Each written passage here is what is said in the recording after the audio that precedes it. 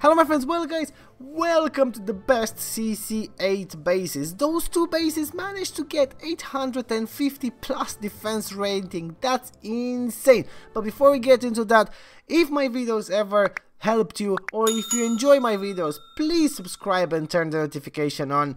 And I want to say thank you very much if you're doing that in advance. Well guys, first base, what we're going to do in this video, we are going to go through this CC8 base. I'm going to attack it. I'm going to point out the best things that this base has.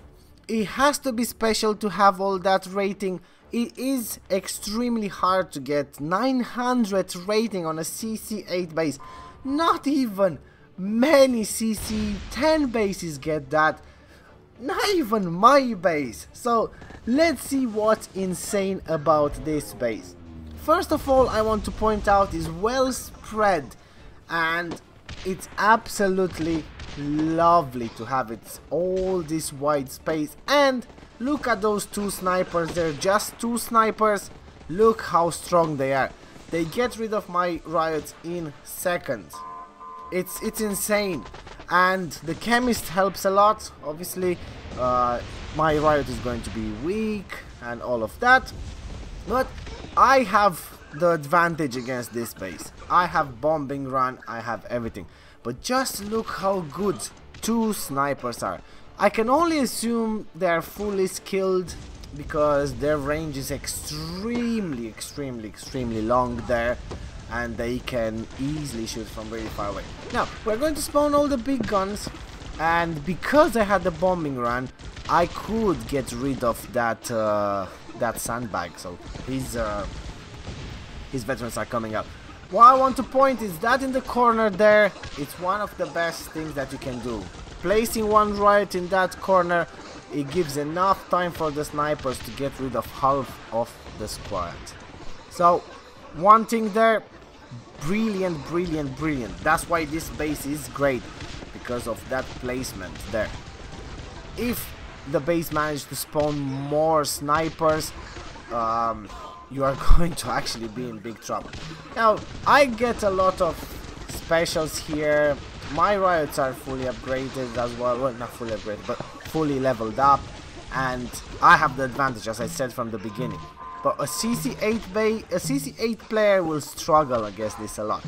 So quickly get rid of that and I'll show you another two things. Do you see those two tank traps there?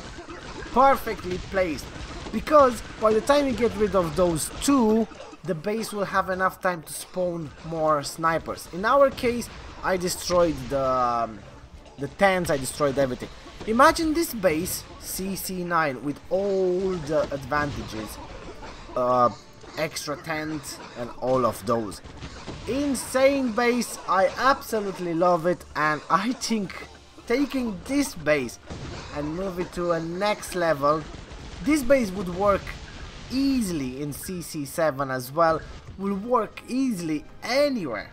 Brilliant, brilliant, brilliant. I absolutely love it. As you can see, I even lost some of my veterans.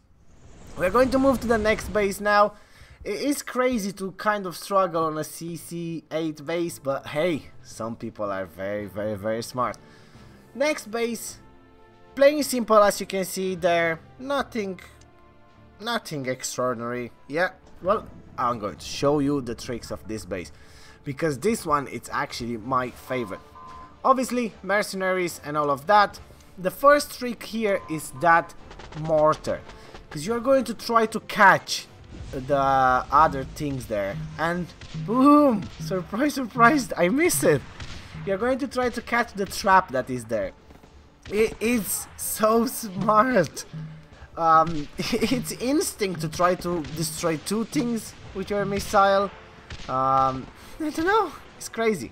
But yeah, again, as I said in the first on the first base, I have the advantage. I have bombing run. I have everything. I have my units are leveled up, level 18. Those ones will be only level 16. So here we go. A little bit of a struggle as well. You can see all the mercenaries coming. Riots are good enough.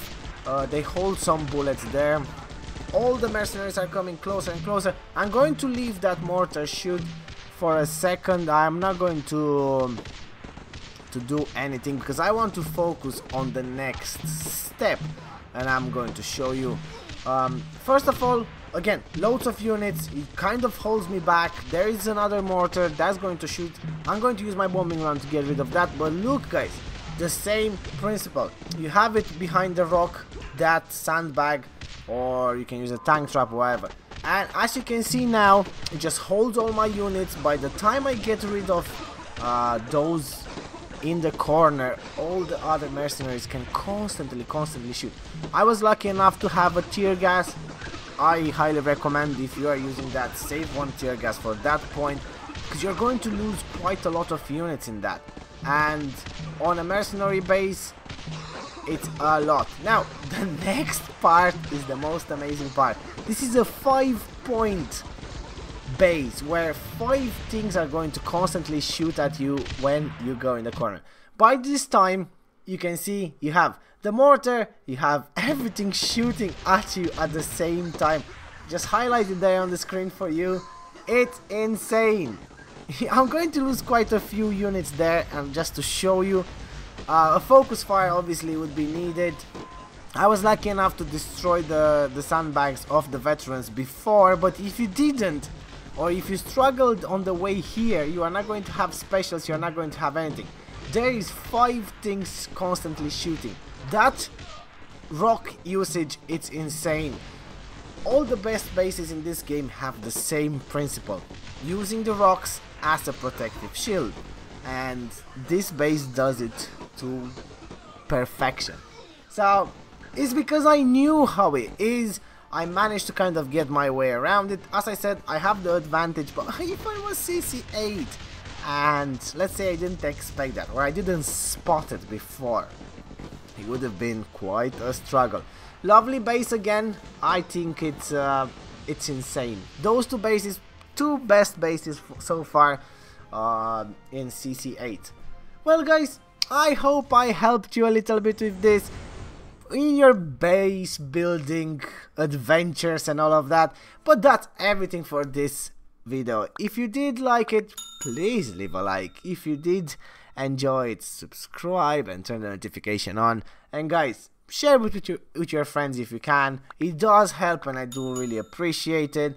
And as always thanks for watching and I will see you next video